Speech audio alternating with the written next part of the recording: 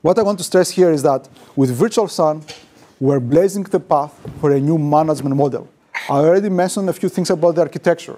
We have a distributed architecture. We collect data from everything, from hosts, devices, networking. We store them using a completely peer-to-peer distributed management architecture on vSAN itself. Well, what the hell? It is a distributed storage platform. So we have our own homegrown, essentially distributed database. We store all the data. We process them locally on every host. And we aggregate the analysis of that data. And we present the various views you're going to have through the UI, but also have APIs. Everything is API supported. And as we speak, our engineers are writing dev, DevOps tools, including Power CLI, to expose all those things through Power CLI. Right? This is, this is the way we're going. So since 6.1, we have this health checks. is a, is, a, is a service that goes and checks your hardware configuration, the hardware, firmware versions, driver versions, all that nightmare that people have to deal with. And checks everything is okay, even your network configuration, everything's consistent, and if something's wrong, it guides you to go and fix them. In 6.2, we expanded that with capacity monitoring, because you have all these now uh, features, you have good visibility how where your capacity is going. Even with duplication RAID 5, what types of you know, VMDKs use what space, what is used for swap, what is used for VMs, metadata, what is your overhead with the different techniques you use. And we have also performance monitoring that gives you different views of your, how your performance is doing everywhere from at the aggregate cluster level to have like a bird's eye view, okay, is everything going okay in my cluster, down to how an individual device is used, whether there's any contention on your SSD, how your capacity tier device is doing, IOPS, latencies, queue depths, any metric you can imagine, right? So what I'm saying here is that it's not only the storage features that, that matter, right? Not the kind of things that Howard cares about only but it's also the operational model. How the users can really use effectively all those features without having to get into like the nightmares of configuring a hundred different knobs.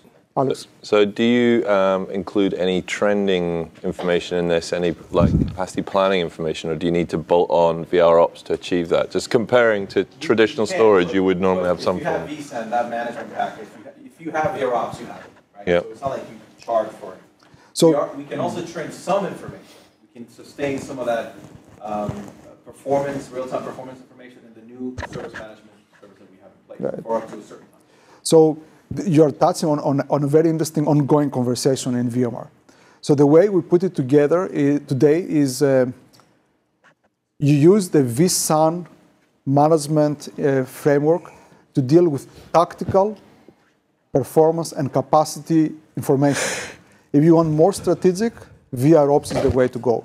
But we don't want to push our customers to go and invest in VROps if they do not need all that fancy strategic kind of guidance. So we try to make be as self self-sufficient as possible here. But how these things evolve, are evol will evolve over time is an ongoing conversation. So here's the deal. Um, obviously, we have a, a, lot of stuff in technology, a lot of stuff in, in the data efficiencies, performance, and all that stuff. But the big point on vSAN is also this the management, as Christos said, is very important. And make sure that not only we simplify the complexity on the implementation side of the world, but also eliminate humans. I'm all with you on that one. However many touches and clicks we have is a risk anytime you expose that. So I'm going to show you some of the stuff live, and not to sort of uh, any sort of uh, boasting kind of way, but hopefully it works because it's my infrastructure, nothing too fancy. Um, in the DLS, we have these new data services uh, and these features. So for example, here's what the, uh, whoops, this client logged out. Happens to me all the time. So the point is, we, are now delivering information that before you had to get it through, for example, um, the observer, right, real-time statistic and information directly in the UI within vSAN in several places. One of them being uh, the cluster overview, but also at the same time when it comes to adding it to the uh, to the actual uh, selecting the actual object. What else? Um, here we go. Okay, so the vSphere web client, we know. Um, so here's a couple of things. So I have a couple of clusters, and the point is that from a management perspective, Uh, there is a stretch cluster here. There's a regular flash cluster. And I'll show you metrics from different one of them. So the deal is, from a management perspective, you want to make it easier for, a, for an infrastructure, whoever's managing the system from a vSphere admin perspective. Notice that here we can show you everything based on policies and things that are tracked all the time live, whether it's the hardware, the software, the physical devices, the cluster, the limits, the performance, every aspect of the system. And these are very lengthy sort of uh, uh, categories that check a lot of different things within those services. Here, you now have the ability to have and use the uh, virtual SAN performance services, which is what Chris was mentioned before. And one of the and one point I want to make while you're moving into pages is that we're we are moving in a direction where we are giving you an overview of your and management of your infrastructure. Not only these groups are becoming you know are irrelevant, even down the road, clusters are just an internal architectural aspect of your infrastructure what you will be managing is your infrastructure, not individual clusters. So that is our directions. This is our, we're not quite there yet, right? Don't get me wrong. But over, over time, we're moving into a way, into a model where it's your infrastructure you manage, not the details like clusters, hosts, or anything like that. And this is great. So the point is like, obviously this is my environment. And I don't want anything to be super perfect because it's not perfect. So the point to point out here is this. So we have a service now that you can deliver in terms of real-time performance monitoring, which is stored on every host. That data is stored for up to 90 days. So you can go back in time and see what happened within the system. We store that now on vCenter. Instead of pushing it to vCenter and depending and adding more bloat to that system, we basically keep it here. And here, you also have the ability on how you want to protect that data on the same concept that we use for vSAN. So basically, there is an object created automatically, and it says if my performance and analytics data is very, that important, what I, what I can do is add the same sort of policy and data service capabilities to that particular object at the same time as well. And you control it at that point, right? But whenever you kind of go into traverse into the different clusters, you're able to get that kind of that same information. Another big um, point here is the what we do in terms of the, the health checks. The health checks are pretty crucial to the way we've done things because it's all about also being able to eliminate the amount of time a, an end user or an administrator is kind of looking around for things to find out what's wrong. So the point is that the system through the health check here, one of the biggest things is the fact that we can check whether or not your hardware, your specific hardware, what exactly are you using, what's wrong, what's not needed, and what's not there, will tell you. You have the wrong firmware, the wrong driver. You should have this one, this one, and this one. And by the way, I'm going to get killed here, but we're also working on a solution where at, from that point in time, you can say remediate we'll automatically do the, the entire click, uh, click and go. Your, the, the, the firmware down, down to SSD. All the way, all the way, right? So we have, that's something in the, that's in, in the works and we're actually uh, dealing with that. So you can see, for example, controller, all, SSD, driver, firmware, you name it. Okay, so all you, the, you uh, got to work with the main ESX guys to get that to be server firmware yes, too. Yes. Well, exactly. We have the, the we have we already have the infrastructure for that, which is VUM. Right now, it's expanding on some of those things and making it better. So obviously, look, the point here is that we check every aspect of the system automatically, and you can actually control how often this is checked. So you have the ability to say check it every five minutes, 10 minutes, 60 minutes, whatnot. So you can have that data. Very you're consistent. cutting too many corners in your in your clusters. Which is I, I, left it like that. Yeah. You should see mine. see, um, in terms of capacity, this is big. So let's show you some numbers, and let's not make a big deal out of what you'll see probably in, in dedupe here, if it's just the right cluster um, because it's just a, you know, I just put a VM in there and basically I deploy 1600 VMs in a four node cluster or an eight node cluster, I think. So you see, for example, oh, this is, this is not the deduplicate one, but basically you can see all the different points, everything that's consuming capacity within the system in detail, in percentage, and how much exactly is being consumed. And you can look at it per object. You can look, also look at it per virtual machine, what's being uh, configured and whatnot. Obviously, if you look at the same sort of configuration in a, this is a, a stretch cluster. If you look at it in a in a uh, all flash configuration. In this case, what happens is you'll see, for example, our deduplication and compression efficiencies, which is pretty nice. Uh, but the deal obviously is you know how that works. It's either deduplicable or compressed whenever possible. Here you see 11x, uh. but let's not make a big deal out of that, right? But it, it's pretty efficient, right? And that's basically the same type of workload in there about 1,600 times in that particular host. Another thing that I did here is that you don't see a lot of swap because I'm also using the, the sparse swap, so I thinned. And look how much is it using. You can barely almost see it, whatever's there. And that if it was not thin, it would be will be much, much will be much bigger with that many VMs. Yeah, without many VMs, correct. And the dedupe and compression overhead include is the hash tables. You can see here. Yes, it's yes. listed here. Yeah, I like that you. Now here's here's that. another oh, here's another. You have to point. be transparent. You need to understand because that's part of that's of that system. that kind of data is rarely transparent. So here, here's another point. We talk about stretch clusters, robo, and all this stuff. You guys know very well how difficult and challenging it is to deal with uh, multi-cluster scenarios and how complex that becomes. When it comes to managing a vSAN cluster stretch, it looks exactly the same as if you deployed a robo, a two-node cluster, whatever it is. It's exactly managed, consumed, configure, entirely the same, with the exception of going through some of the things, obviously the requirements on the network side. So here I have a, a stretch cluster, um, and to be honest, you can see that it's no different from anything else that's there. One of the major changes that we made in, uh, now in the product is that I'm going to show you how you basically enable vSAN and kind of go through that process, which Christos showed you that before. So when it comes to, I want to make this easy, I want to be able to deploy this, here are the options. It's just basically a couple of clicks.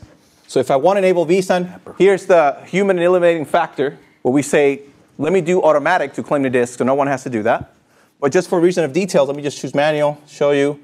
Said I want to enable the duplication and all those data services and features, allow all those things you want. Let's say I want to enable a stretch, well, a stretch cluster. All the features are easily accessible here.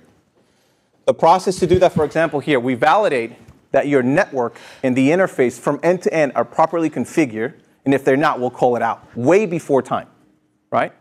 And then as you proceed through the process here, you'll be able to then to do the claiming. And this is what the claiming basically becomes. So we identify the types of disk, whether it's through a device type or a brand or model.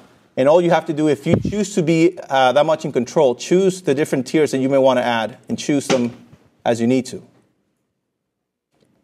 From there, next.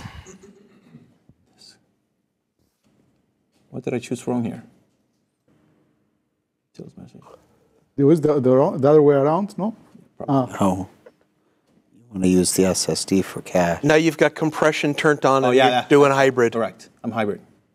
So you can see, for example, the uh, those data services obviously are only available on no flash. You've got that. Take that off here. And balance. Here we go. Now we're able to do this very nicely. Again, you don't have to do this, right? This is a matter of if you're going to if you're going to enable that. Now, if I'm going to deploy a stretch cluster, look, look, at, look at this. Stretch cluster, I have two active sites. Now I'm going to deploy that the same way I would deploy vSAN. So basically by going and saying, okay, I have a preferred site, which is another logical concept, or I have a, a secondary site, deploy that.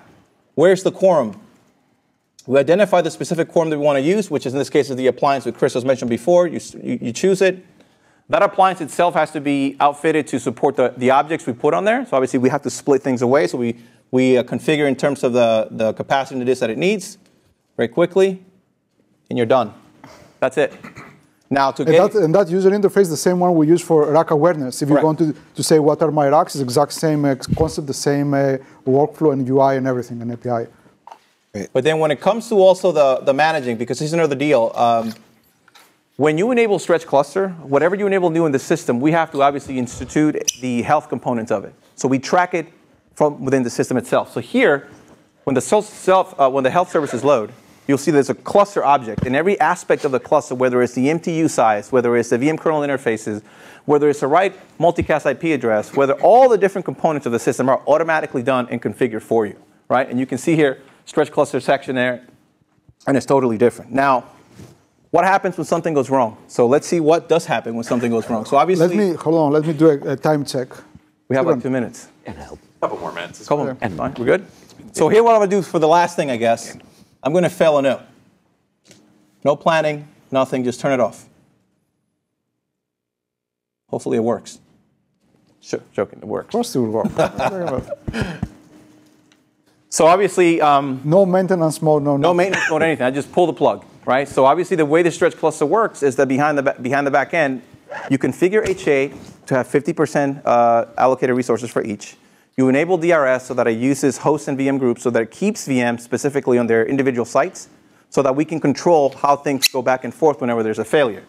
Here, obviously there's an equal number of VMs that have been split across. Uh, obviously in, uh, in, in the failure, we would expect that by the time the system goes down and it fails, the VMs will automatically be brought up again by, uh, by um, HA. in that particular case. Once the system comes back up again, then things fell over back to the system. But the whole point is, from an operation perspective, there's nothing different. You are still doing the same stuff that you did in the past, whether you, you deal with vSphere 5.5 all the way to 6.2 now.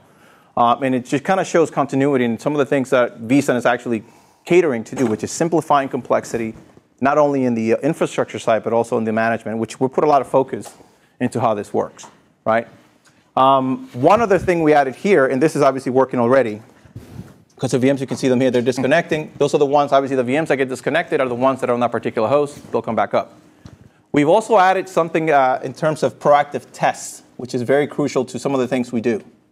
Uh, one for Howard here. So obviously, we give you the ability to do burn-ins on the system before you deploy any VM. So we have the ability to that. Within the proactive test settings, you can test the system for different type of workloads. And basically what's happening there is that at the kernel level, we're instantiating about 10 different VMDKs per host and testing a specific working set at that low level that you can actually automate from here, out of the box from, from within the system. Uh, no so VMs installed, no. No VMs installed. So basically, we're, we're, we're using our IO Blazer, which is a, a thing that we sort of launched a long time ago, which is diameter. Uh, and it's basically the same thing. So within the system, we have these sort of uh, profiles that you can just very, very, very quickly check either 100% read cache, you want to do an all-flash testing and hybrid, change the working set on how it is. and also there's a concept of a real working set, something that's a real type of, uh, uh, a real data like a, uh, the way it behaves. So that way you can have an actual accurate test. So this is something you run like on day zero on before day zero, you start uh, deploying any of your workloads. So you have a, an, an idea how your system actually behaves with right. real uh, data and real uh, workloads. Yeah. I think we need, we need to probably yeah. stop for any questions yeah. here and then. So yeah, I think uh, those are probably some of the most, uh, from a management perspective, some of the newer features of performance services, which are distributed across. Very important to understand how we manage that and we keep that up. The, uh, the ability of the, uh, the visibility of the data now has represented, as well as the, uh, how much more easy it is to deal with a, a stretch cluster scenario in this case. The VMs come up automatically, you don't have to worry about that. So obviously, it's a lot of improvement, not just on the technology side, as we kind of got into here, but also on the management and experience side as well. So from that, any, any, questions? any questions, guys, before we, we wrap it up? Howard? Yeah. you have any questions? Hmm. Yeah, but they're all about futures, and you guys don't like them. Ask me one, I'll tell you. Uh, so oh. really, you got you got like 30 seconds. So we were at Intel yesterday, and they had this great device, device development kit for Linux that act, made access to their NVMe SSD three times faster. Huh? Of course, we can't use it with the ESXi because you guys aren't Linux. Sure. When are you buying in? Uh, I'll let uh, him yeah. answer that. and the 30 seconds right. is up. Actually, I think it's fair to say that we're working closely with uh. Intel yeah. To adapt uh-huh. our storage stack. Now, that is with the same stack that uh, vSAN uses, but not only vSAN, right. to utilize this new generation of devices. Yeah.